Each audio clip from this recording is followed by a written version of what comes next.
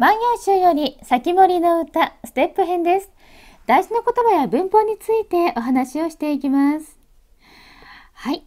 はじめからですが、カラコロムですね。ホップ編でも漢字の読み方確認してくださいとお話ししました。ですが、もう知っている人も多いかと思いますが、カラコロモという言葉、本来こうですよね。それがなぜ、無となっているのか少し気になりませんか？これは方言なんです。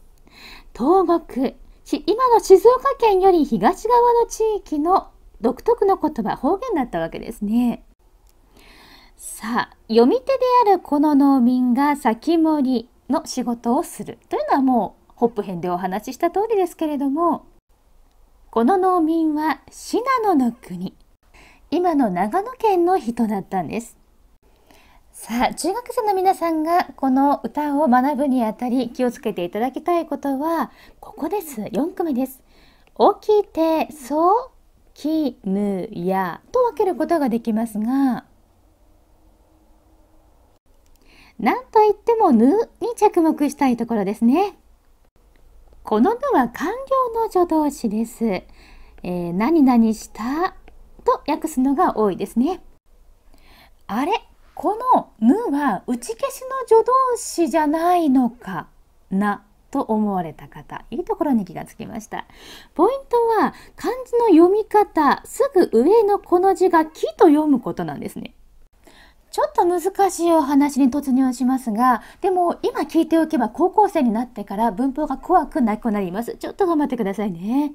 えっ、ー、と、この木は、来るという意味の言葉の連用形なんです。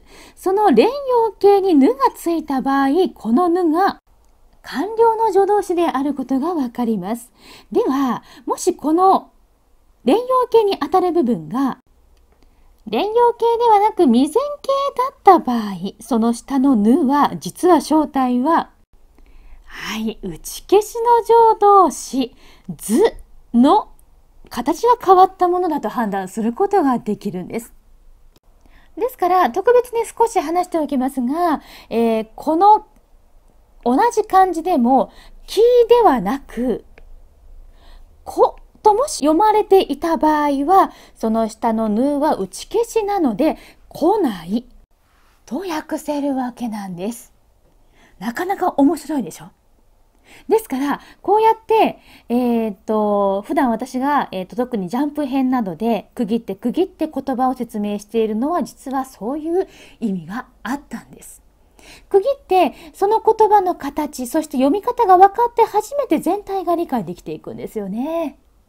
さあ、えーと、全文訳は次のジャンプ編になります。あともう一つだけ話しましょう。最後の句です。